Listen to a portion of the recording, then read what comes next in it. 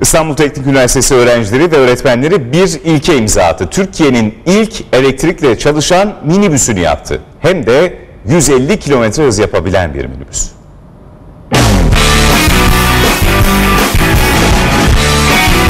bin dolar.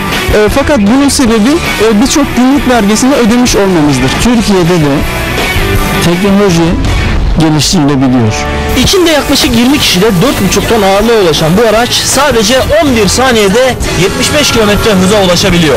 Ve bu araca bu hızı, bu gücü veren motorsa işte bu gördüğünüz kutunun içinde. Ve bu minibüsü tamamen Türk öğrenciler ve hocaları yaptı. İstanbul Teknik Üniversitesi öğrencilerinin ve hocalarının düşü gerçek oldu.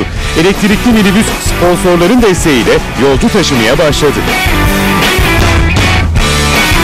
Projeye bir destekli üniversitenin komşusu Maslak Otosanayi'den, ralli araçları üreten bir ustadan. Douglas atölyesinde karşılaştık. Bir diferansiyel alıyorlardı. Ben e, müdahale ettim çünkü kırılacak bir şeydi.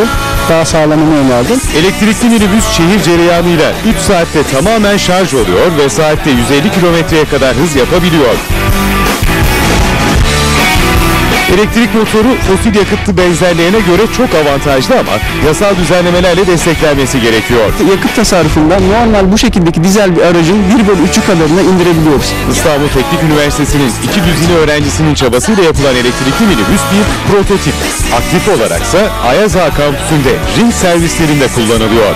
Umudumuz bu gibi araçların normal şehir hatlarındaki minibüslerde kullanılması. Sıfır emisyon, sıfır çevreye zarar ve tertemiz bir doğa.